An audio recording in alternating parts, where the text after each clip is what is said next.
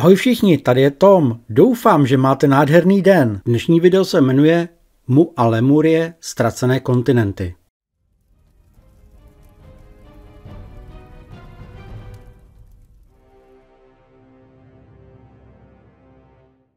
Na začátku bych chtěl vyjasnit některé důležité věci, o kterých si dnes budeme povídat, protože internet je plný informací o těchto kontinentech a ty se buď navzájem rozporují, anebo slučují, což je matoucí.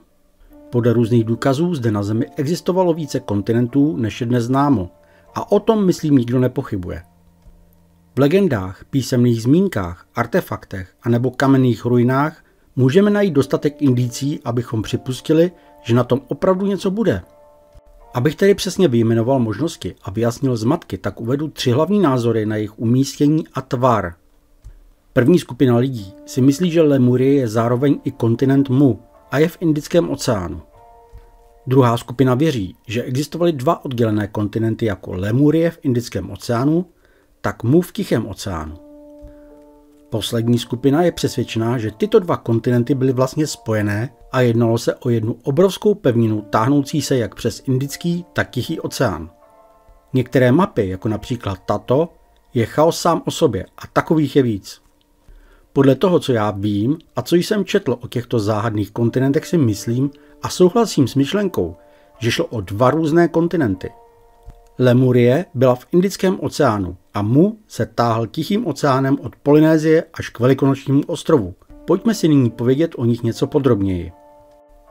Lemurie Mnoho starých mýtů a legend vypráví příběh o legendárním ztraceném kontinentu, který byl kdysi v dávné minulosti kolébkou lidstva. Tento kontinent byl známý jako Lemurie.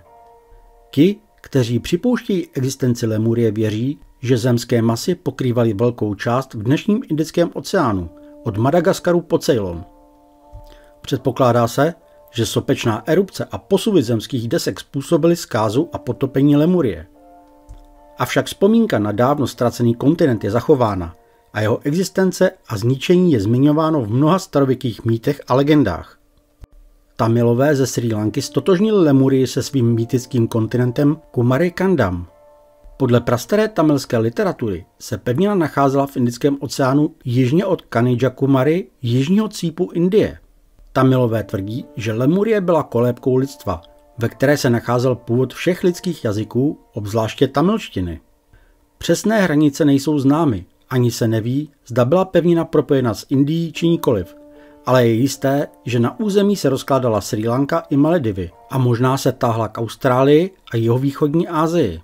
Během poslední doby ledové byla velká část indického pevninského šelfu nad úrovní tehdejší hladiny moře. Vědci se proto domnívají, že se lidé nejdříve usadili na této části pobřeží. Po oteplení naší planety byla tato země zaplavena mořem, což by podporovalo názor, že tato legendární země skutečně mohla existovat. Zmínky o Kumari Kandam se také nacházejí ve starotamilské literatuře v tamilských sangamech. Podle drávických legend se drávidové přestěhovali na sever, protože jejich původní země, kterou nazývají Kumari Kandam, byla zatopena. Idea Lemurie se dostala i do moderní kultury, například v příbězích Konana a Kula od Roberta Howarda a v povídkách H.P. Lovecrafta. Objevuje se také v Čapkově válce smloky, jako jeden z ostrovů ze dvou mlčích národů. Kontinent Mu Záznam o zničení Mu je v skutku zvláštní. Z něj se dozvídáme, jak může být vyřešena záhada bílých ras na ostrovech Jižního moře a jak velká civilizace vzkvétala uprostřed Pacifiku a poté byla téměř za jednu noc zcela vymazána. Před několika desetiletími by věci velmi pochybovali o možnosti dřívější existence obrovského kontinentu, jako je mu v Tichém oceánu. Ale od té doby se objevily záznamy a byly provedeny různé srovnávání, která dokazují, že taková země kdysi existovala. Důkazuje několik druhů a není jich úplně málo. Stačí je správně poskladat jako pucle a vyjde nám jasný obraz v podobě tohoto obrovského kontinentu.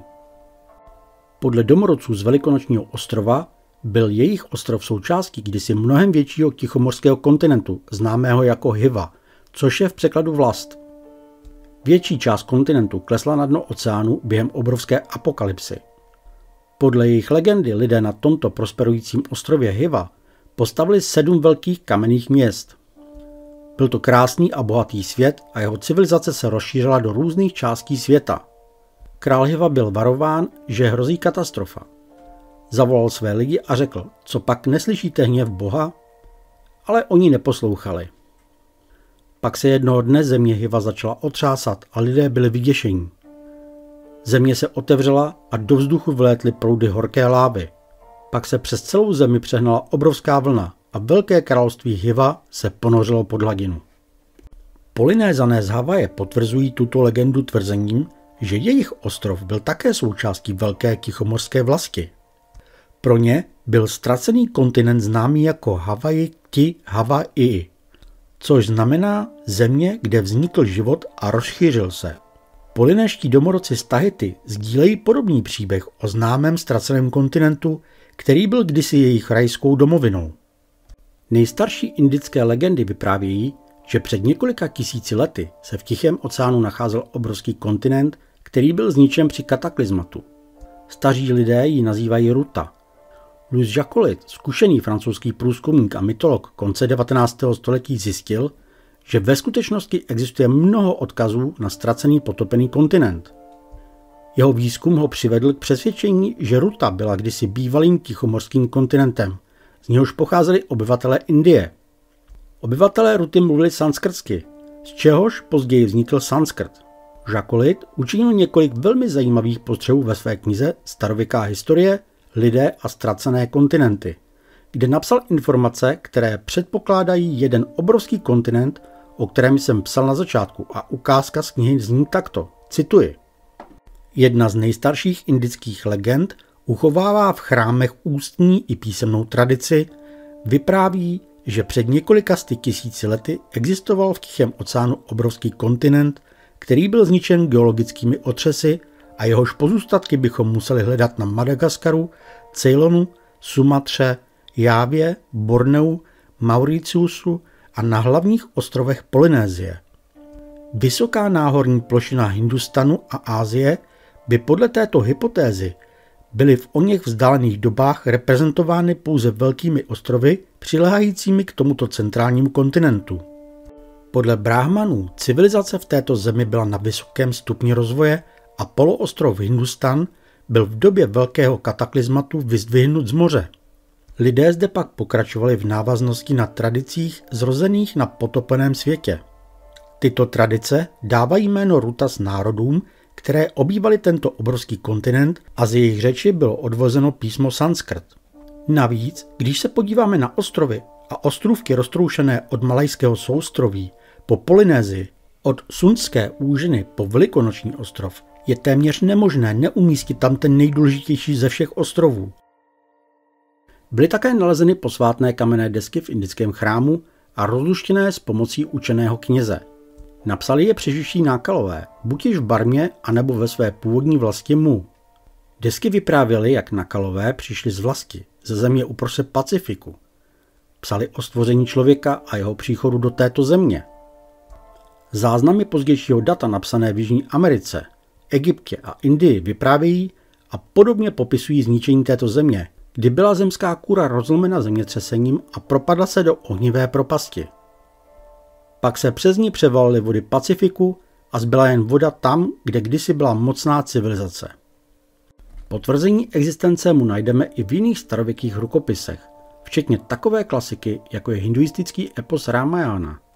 Ten byl napsaný mudrcem a historikem Valmikim, kterému tyto události popsal velekněz chrámu Rishi v Ayodhya. Na jednom místě Valmiky zmiňuje lid Nakali, jako přicházející do Barmy ze země svého narození na východě, tedy směrem z Tichého oceánu. Dalším dokumentem potvrzujícím příběh o posvátných deskách o Valmiky je Troano manuskript, který je nyní v Britském muzeu. To je starověká majská kniha napsaná na Yucatanu a hovoří o zemi Mu. V této knize se používají pro Mu stejné symboly, jaké najdeme i v Indii, Barmě a Egyptě. Dalším odkazem je Codex Cortesianus, Majská kniha přibližně stejného stáří jako Troano manuskript. Pak jsou zde ještě záznamy z tibetské Lhasy a další z Egypta, Řecka, Střední Ameriky a Jižní Ameriky. Ty také popisují kontinent v Pacifiku, který byl zničen a potopen. Předkové často označovali tento lid jako rasu magických a nesmrtelných bytostí a někteří tvrdili, že v této části světa lze nalézt stopy po kolebce civilizace. Někteří lidé z mu přežili a setkáváme se s nimi v jiných částech světa pod různými známými jmény. Je zajímavé poznamenat, že existuje fascinující spojení mezi dávno ztraceným legendárním kontinentem a Amerikou, stejně jako dalšími oblastmi světa. Existují však nejen písemné a ústní důkazy, ale především ruiny, které svou polohou a symboly, které je zdobí, vypovídají o ztraceném kontinentu Mu. Na některých ostrovech Jižního moře, jmenovitě Velikonoční ostrov, Mangaya, Tonga Tabu, Panape a ostrov Landrone nebo Mariana, dnes stojí pozůstatky starých kamenných chrámů a dalších kamenných pozůstatků, které nás zavádějí zpět do doby Mu. Původní útvary u japonského ostrova Yonaguni jsou některými identifikované jako pozůstatky Mu. O tomto útvaru jsem vám přinesl před časem podrobnější video, rozhodně se podívejte. V Uxmanu na Yucatanu nese zničený chrám nápisy Země západu, odkud jsme přišli a nápadná mexická pyramida západně od Mexico City byla podle jejich nápisů postavena jako památník zničení těchto stejných zemí ze západu. Louis Jacolit strávil roky výzkumem náboženství a tradice ostrovů Polynézie. Podle jeho názoru starověká mytologie spojená s běžným jazykem, vírou a zvyky jasně naznačuje, že všechny ostrovy v regionu jsou pozůstatky obrovské, nyní ponořené pevniny. Žakolit poukázal na to, že, cituji, náboženská víra společná v Malaka a Polynézii, to znamená mezi dvěma opačnými extrémy oceánského světa, potvrzuje, že všechny tyto ostrovy kdysi tvořily dvě obrovské země, obývané žlutými a černými muži, kteří mezi sebou stále válčili, a že bohové, unavení jejich hádkami, přikázali oceánu, aby je skrotil a pohltil oba kontinenty. Od té doby nebylo možné přimět oceán, aby se vzdal svých mrtvých zajatců. Samotné vrcholky hor a náhorní plošiny unikly potopě za pomoci bohů, kteří přišli příliš pozdě, protože pochopili chybu, které se dopustili. Konec citátu. Podle Jamesa Churchwarda, který studoval kamenné tablety z Mu a věnoval se odhalování tajemství mu velmi dlouhou dobu, byla na tomto kontinentu dominantní bílá rasa. Byli to mimořádně pohlední lidé, s jasně bílou nebo lehce snědou pletí, velkýma tmavýma očima a rovnými černými vlasy. Kromě této bílé rasy existovaly další rasy, lidé se žlutou, hnědou nebo černou pletí, ti však nedominovali. Tito starověcí obyvatelé Mu byli skvělí navigátoři a námořníci, kteří své lodě plavili po celém světě, od východních k západním oceánům a od severních k jižním mořím. Byli také učenými architekty, kteří stavili velké chrámy a paláce z kamene. Vyřezali a postavili velké monolity jako pomníky. Churchward ve své knize popisuje, že na vrcholu této civilizace bylo na kontinentu 64 milionů lidí a to se skládalo z deseti kmenů. Každý byl odlišný od druhého, ale všichni sjednoceni pod jednou vládou. Před mnoha generacemi si lidé vybrali krále a k jeho jménu přidali předponu Ra, Poté se stal hieratickou hlavou a císařem pod jménem Ra-Mu. Impérium dostalo název Říše slunce. Všichni vyznávali stejné náboženství, uctíváním božstva prostřednictvím symbolů. Všichni věřili v nesmrtelnost duše, která se nakonec vrátila k velkému bohu, odkud přišla. Jejich úcta k božstvu byla tak velká, že nikdy nevyslovovali jeho jméno a v modlitbě a prozbě ho vždy oslovovali prostřednictvím symbolů. Ra slunce bylo použito jako společný symbol pro všechny jeho atributy. Velekněz byl Ramu zástupcem božstva v náboženském učení. Ramu neměl být uctíván, protože byl pouze zástupcem. Kontinent Mu se objevuje také v pracích antikvariáře Augusta Le Plongeona, cestovatele a spisovatele 19. století, který vedl vlastní výzkum majských rozvalin na Yucatanu. Plongeon oznámil, že přeložil prastaré majské spisy, které pravděpodobně ukazují, že májové Yucatánu byly starší než pozdější civilizace Atlantidy a Egypta. Dodatečně vyprávěl příběh ještě staršího kontinentu Mu, který zanikl podobně jako Atlantida s tím, že přeživší obyvatelé založili majskou civilizaci. Ať už je v těchto tradicích v cokoliv a ať už pocházeli odkudkoliv, tak je jisté, že zde tato civilizace existovala a byla starší než celý Řím, Řecko, Egypt a Indie dohromady. Pro vědu by mělo být nyní nejdůležitější, aby nalezla její stopy, ať se zdají jakkoliv slabé a prchavé. Pokud jde o polinéský kontinent, který zmizel v době posledních geologických kataklizmat, jeho existence spočívá na takových důkazech a logicky o tom nemůžeme ani pochybovat. Tři vrcholy tohoto kontinentu, Sandwichovy ostrovy, Nový Zéland a Velikonoční ostrov, jsou od sebe vzdálené téměř 2900 kilometrů a skupiny mezilehlých ostrovů Vity, Samoa, Tonga, Foutona, Ouvea, Markézy a Tahiti jsou sami vzdálené těmto vnějším bodům od 1100 do 1600 kilometrů.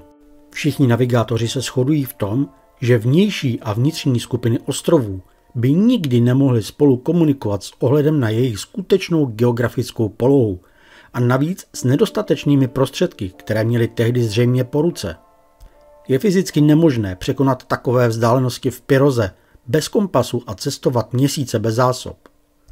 Na druhou stranu domorodci ze Sandwichových ostrovů z Vity, z Nového Zélandu, z centrální skupiny, ze Samoy a z Tahiti a tak dále, se před příjezdem Evropanů nikdy neznali, nikdy o sobě neslyšeli. A přesto každý z těchto národů tvrdil, že jejich ostrov byl kdysi součástí obrovského území, které se táhlo směrem na západ na straně Ázie.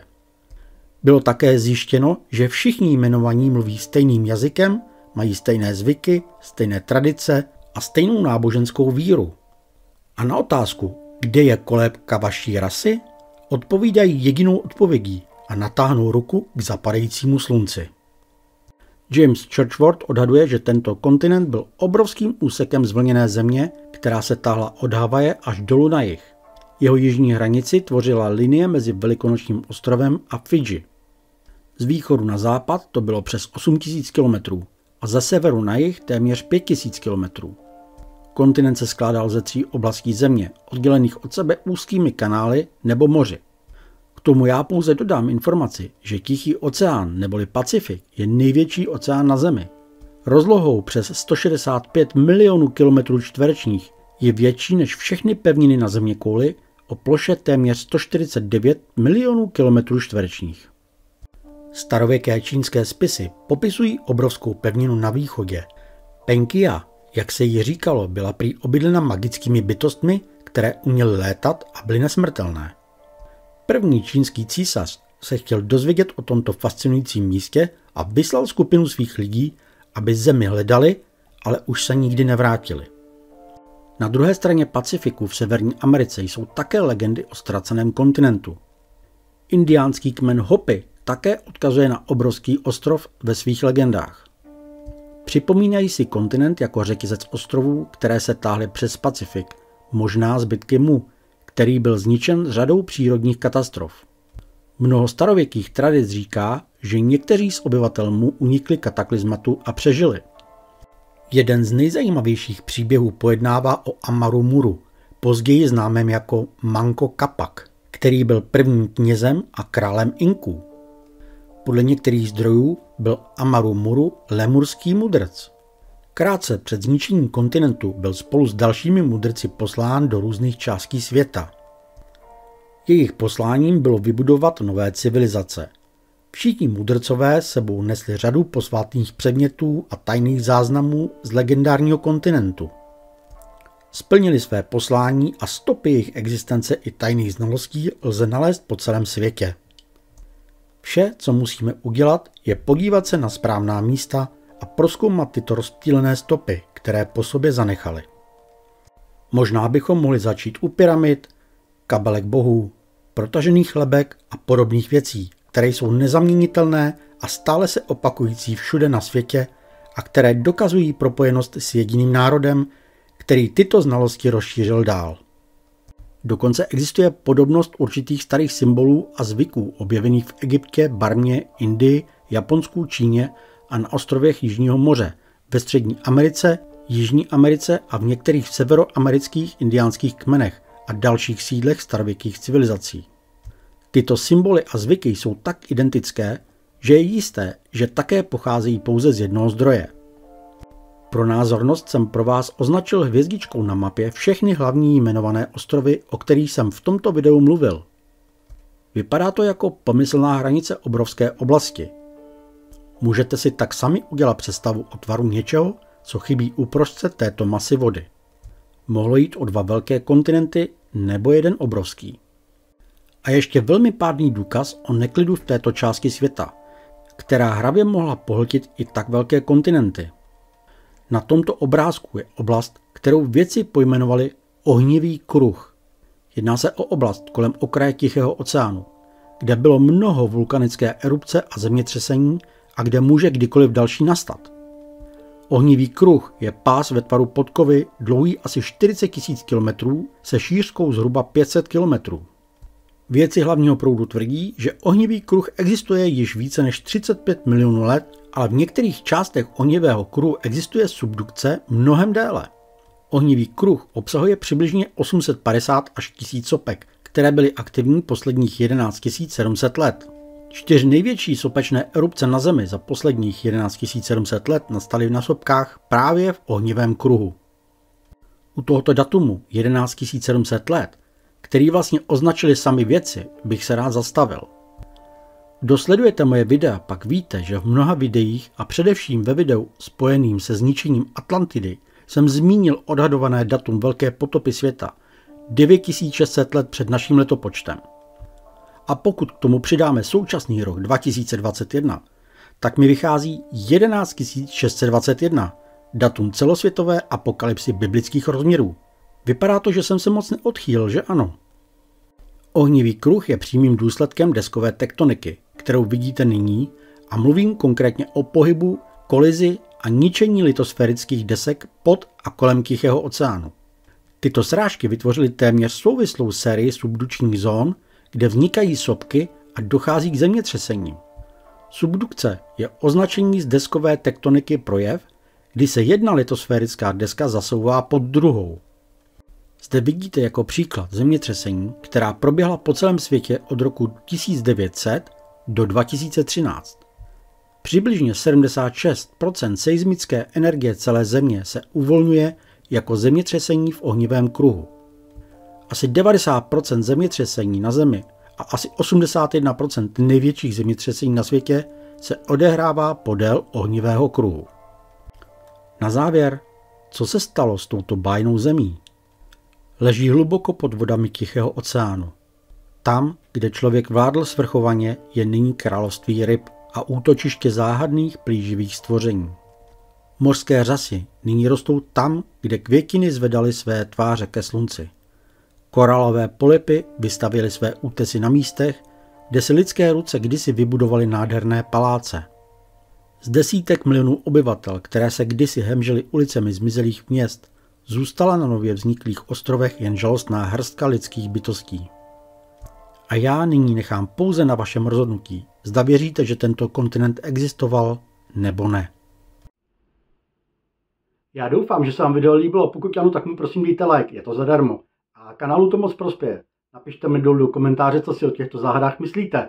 A já se budu těšit, že se spolu uvidíme u dalšího dílu. Mějte se tím hezky. Děkuji všem jmenovaným za finanční podporu, která mi pomáhá tvořit nová videa pro všechny diváky kanálu Úžasný svět záhad. Pokud se vám tento kanál líbí a chtěli byste podpořit mou tvorbu, tak naleznete pod videem odkazy na různé způsoby, jak to můžete udělat. Nejlepší je stát se členem tohoto kanálu, což vám přináší i řadu výhod, včetně videí navíc pouze pro členy. A nezapomeňte také navštívit e-shop s merčem.